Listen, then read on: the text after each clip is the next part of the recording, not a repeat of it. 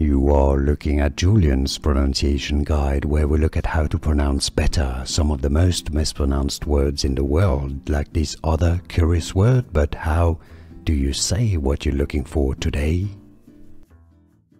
Yes, this name confuses a lot of people. Um, he's a Spanish professional footballer uh, that currently plays at uh, Barcelona, Athletic Barcelona. Marc Guiu Yes, not Guiu, Guiu, okay? So G-U-I is Guy, and then the U is U.